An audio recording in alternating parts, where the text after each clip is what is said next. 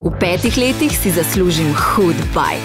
Kaj pa vi in vaše želje? Izpolnite si jih s pravo naložbeno kombinacijo. Triglav skladi. Zaslužite si več.